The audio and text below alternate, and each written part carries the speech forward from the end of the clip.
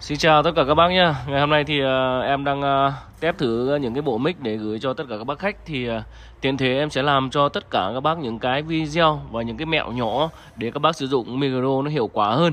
Và các bác uh, xem thì nhớ là cho em xin nút đăng ký kênh, một nút like nhé Và rất nhiều các cái mẹo hoặc những cái nút bấm này các bác Mặc dù các bác đã sử dụng rất là lâu nhưng có thể là các bác sẽ không biết nhé Thì các bác nào biết rồi thì các bác thể bỏ qua Hoặc bác nào chưa biết thì các bác xem kỹ video thì đầu tiên thì giới thiệu qua trước một cái ờ, bộ mic ờ, Bayer này.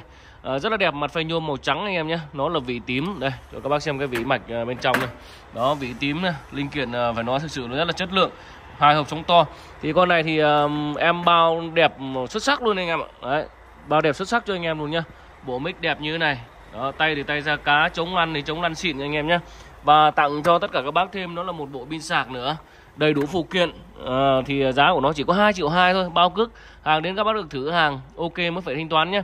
Với thằng mic Bayer này thì ờ, cái chất âm của nó hát cực kỳ là nhẹ tiếng này ờ, đủ dài anh em. Đó trầm ấm nhẹ tiếng và hát rất là là nhẹ anh em rồi bây giờ sẽ đến cái mẹo những cái ờ, cái mà các bác có thể là chưa biết.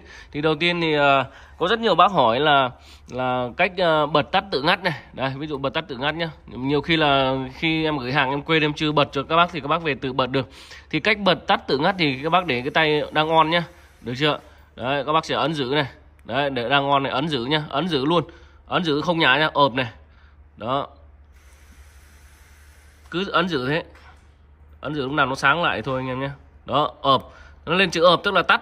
Vừa rồi em vừa tắt bây giờ các ví dụ đang tắt nha các bác muốn bật lên này. Đây. ấn giữ luôn không nhả nha không nhả một tí nào luôn. Cứ giữ thế đấy không nhả một tí nào luôn nha lên chữ on là được nha đó các bác nhìn thấy chữ on chưa? Đấy là là bật tắt tự ngắt. À, nhiều bác là không không biết. Đó đấy là một một cách đầu tiên.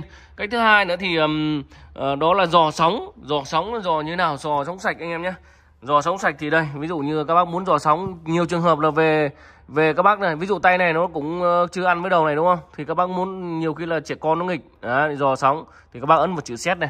Đấy, bác dò kênh nào, ví dụ tay này các bác muốn ở kênh này thì phải dò bên đây, còn các bác muốn sang bên tay ờ, phải thì nó dò bên đây nhá. Đấy, đều có cái đèn IR này. Đèn IR, mic nào nó cũng thế anh em nhá. IR đây, các bác dí cái màn hình uh, tay mic nó sẽ vào. Ví dụ các bác xét này, ấn chữ xét này. Đấy các bác dí này, dí này đó bác nhìn đang đang giò này. Đấy chờ một lát. Đó ăn ăn rồi đấy anh em nó hiện cái đầu ờ, vạch pin trên đầu thu này. Hoặc có những ờ, đầu thu nó không hiện ở đây nhưng mà hai sóng nó hiện lên như này là là đấy là ok này. Lư lư đấy lô lô là là nhảy sóng ok. Đấy là cách dò nhá à, ờ, nhiều bác sẽ hỏi là thế khóa khóa nó như nào? Ví dụ các bác dò xong rồi các bác chỉnh ok hết rồi.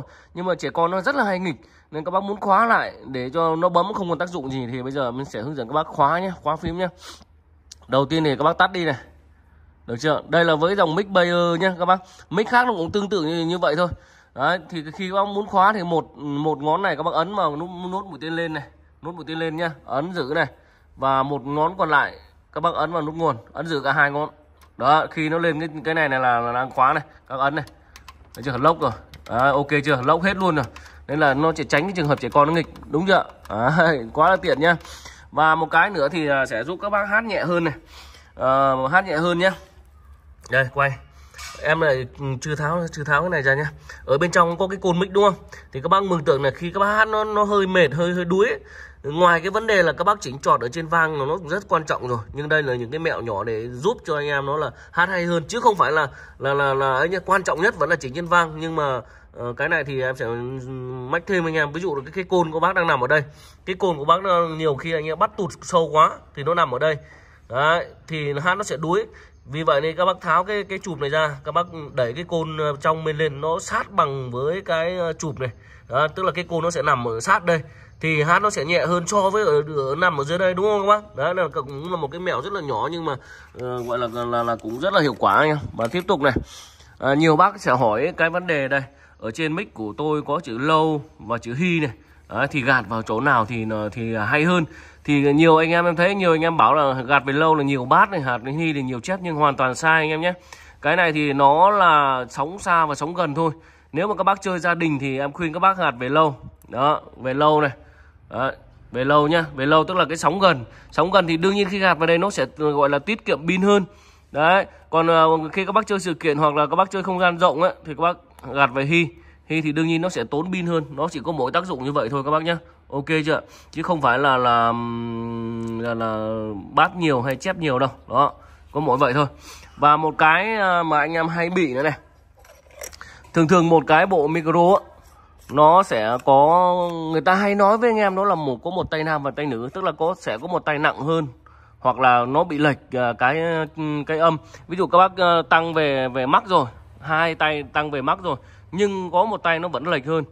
À, có một tay vẫn lệch hơn thì em vừa nói cái từ đầu rồi. Một là có thể là có cái côn của một cái tay kia nó tụt quá hoặc là nếu mà các bác kiểm tra nó vẫn đều nhau mà nó nó tụt thì mình có thể là xử lý ở trên đầu thu được. Đấy, xử lý trên đầu thu được để nó cân nhau. Nhưng mà cái này phải nói là là em không khuyến khích nhé ví dụ cái đầu thu con này chẳng hạn các bác nhìn này. Đây hơi tối một chút nhưng các bác thông cảm nhé đây em sẽ tìm nhá.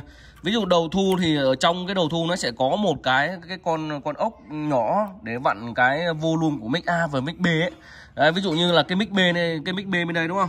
Nó đang bị ờ, bé tiếng so với mic A thì mình sẽ vặn nhích cái mic B lên một tí để các bác nhìn kỹ nhá. Cái cái cái đầu thu nào cũng có từ từ em sẽ sẽ lấy em em sẽ zoom cho các bác nhìn thấy này. Sẽ zoom cho các bác nhìn thấy nha sáng này đây các bác nhìn kỹ này. Đây cái volume B đây nó sẽ ghi chữ volume B này. Có cái cái nút vặn đây này. Đó các bác lấy cái tu vít các bác vặn nhích nhẹ, nhích thật nhẹ thôi. Đấy, và nhích xong một tí cho các bác alo, nếu đều tay thì dừng. Đấy, volume B này. Hoặc là nếu mà cái cái volume A nó bị nhỏ hơn B thì bác vặn ở A đây. Đây, các bác nhìn này. Đó, volume A này, nhìn này. Volume A đây. Volume A và volume B. Có nhiều dòng mic nó sẽ không ghi đâu, nhưng mà nó nó nó cũng ờ, Bayer giờ thì nó là một mà. Nó sẽ nằm ở đây, hai vị trí này nó ghi nhiều mic nó sẽ ghi nhá. Đấy, cả thằng này như là như thế anh em. Đó. Cái này thì em cũng không nên khuyến khích anh em. Nhưng mà nó lệch nhau nhiều quá. Ví dụ như lệch ờ, 6 với 10 thì các bác làm. Còn lệch 8 với 10 thì thôi để hát cũng được. Đấy, một cái các bác tăng volume to lên một tí một cái thì nhỏ xuống một tí là được. Các bác nhá đấy là những cái mẹo gọi là uh, Ờ, nho nhỏ để các bác uh, sử dụng thôi. Quan trọng nhất là vẫn là chỉnh chọt ở trên vang các bác này. Đấy chỉnh chọt ở trên vang nhá. Ok chưa? Quan trọng nhất vẫn là chỉnh trên vang. Nhưng mà nhiều cái uh, vừa rồi em nói thì cũng rất là bổ ích nên các bác cho em xin một nút like nhé uh, với cái bộ này nó là giá là 2 triệu 200 ngàn đồng giá bao cước và tặng pin sạc anh em. Hàng đến được kiểm tra hàng thử hàng ok mới phải thanh toán tiền anh em nhé